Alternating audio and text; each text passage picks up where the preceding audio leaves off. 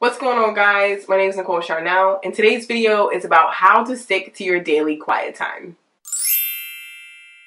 One of the major focuses in Christianity is love and connection, especially your love and connection with God. So having a daily quiet time is super important if you want to cultivate that connection you have with Him. Sometimes, however, sticking with your daily quiet time is difficult. Life tends to get in the way and we tend to put our quiet time with God on the back burner. But today I have some tips for you of how you can stick with your quiet time so it can become a priority in your life. First tip I have is put your Bible and your journal right next to your bed. So as soon as you wake up in the morning, you don't have to go far. You can literally pick your Bible up while you're still in the bed, you're still under the covers, still in your jammies, and you can get right to your quiet time. This this will take away the thought in your mind uh, that wants to delay you for getting up, getting your Bible if it's not in your room. That way it's right there, it's within arm's reach, and you have no excuses. This especially works if your quiet time is first thing in the morning, which I highly recommend before you even get out the bed, before you touch your phone, start scrolling, or anything like that. Grab your Bible and your journal and have your quiet time with God. The second tip I have for sticking with your quiet time is to start a habit tracker. I love to see my habits right there in front of me, see how many days I've been consistent in a row.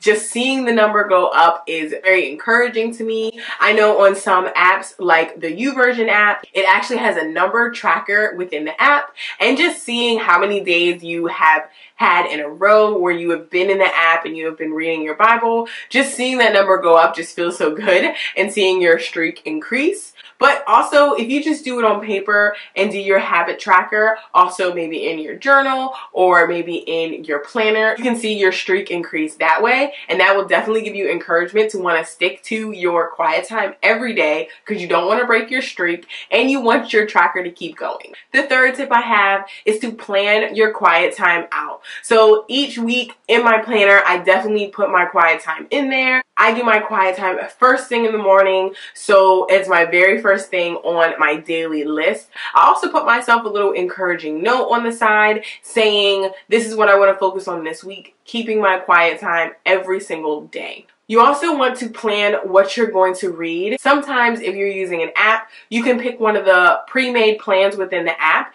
and you can just follow that. Or you can make your own plan, which is something I like to do, and decide, okay, I'm going to start reading this book of the Bible and I'm when I complete that book, I'm going to read this next book. You can read the Bible chronologically or you can just read it in the order that it's written. Whatever you do, as long as you have a plan when you sit down with your Bible, then you know what you're reading. You don't have to think about it. You can just pick up your Bible and go. The next tip I have is Think about your why. Why are you doing this quiet time every day? Why is it important for you to stick with this quiet time every day? If you remember your why, you will have more encouragement to stick with your quiet time. You don't want to give up because you want to reach your goal, or you don't want to give up because you don't want to delay your growth in your Bible study. Whatever your reason is for sticking with your quiet time, make sure you have it clear in your mind so that way you'll want to stick with it. Before I move on to my last tip, I just want to say welcome to my my channel. I do videos on health and fitness as well as minimalism and intentional living. I'm also working on sharing my creativity in ways to help you improve your happiness and inner peace. My last tip I have is don't give up.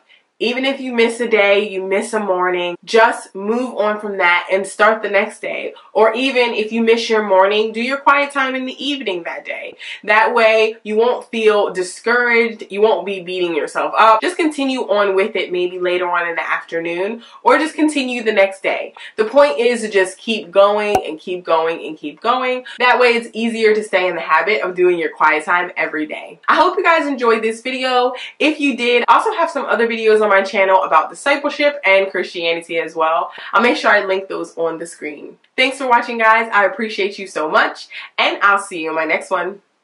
Bye.